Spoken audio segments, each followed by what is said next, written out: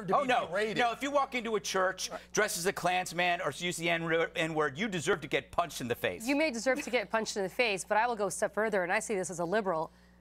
Of course, the whole point of free speech is hate speech, because if it was speech that we all loved, there Yeah. wouldn't be a point to it. Look, you know, this is the difference between this country and somewhere like Germany, which is a, a great democracy. But in Germany, you're not allowed to be a Holocaust denier.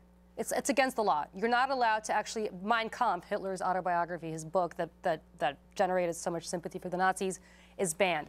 I think that's terrible. And I understand Germany's history, but I think that's terrible. And I think what's great about this country is, despite the fact that you may hate what Pamela Geller says, and I do, she has the right to say it. There's no excuse for anybody banning or trying to say in any way, shape, or form that hate speech is speech that shouldn't be said. It should be said. The First Amendment is sacrosanct. It is more important than anything else, including anybody's feelings. Not only that, right now anything in this country. Remember that issue in Skokie, Illinois, back in the Yes. 70s, where the Klan, there was a huge controversy. The Klan wanted to walk down through a very Jewish neighborhood full of Holocaust survivors and, and talk about their repulsive message.